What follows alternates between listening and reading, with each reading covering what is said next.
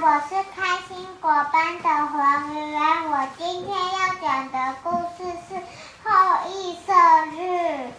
很久很久以前，大海里长了一棵大树，名字叫做扶桑。这棵树又高又粗，是太阳的家。那时候有十个太阳一起住在那棵扶桑树上。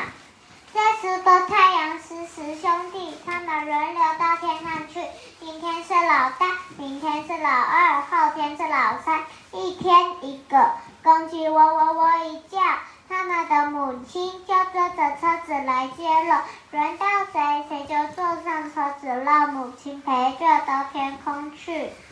这车子金光闪闪，六条龙拉着它在天空飞跑。到了傍晚，母亲又把这个太阳送回扶桑树上去。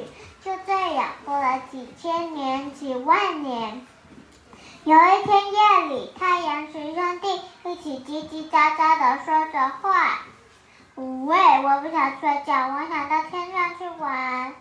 是啊，我也好几天没出去了？不开心。妈妈十天才上一次天，这么大了还让母亲陪着，太没意思了。唉，个主意，明天早不起来之前，我们一起飞到天上去玩，怎么样？好啊，好啊。第二天，不等公鸡喔喔叫，太阳十兄弟就一起离开了扶桑树，挨个上天了。这可不得了了，天上亮的叫人睁不开眼睛。地上热的叫人喘不了气儿，不一会儿，河里的水全给晒干了，地上的庄稼全给烧焦了，还有许多人热的站不起来了。要是太阳十兄弟在天上玩一整天，那整个世界可就都毁了。这件事情让太阳的父亲地震知道，他很生气，派天上后羿去教训教训他们。后羿带着地借给一张公狮之剑，和他的妻子嫦娥一起来到了人间。后羿是威慑箭能手，百发百中。眼见人间遭了妖，又难过又着急，立刻搭上箭，拉满弓，想吓唬吓唬太阳。可是这些太阳不理不睬，这可怎么办呢？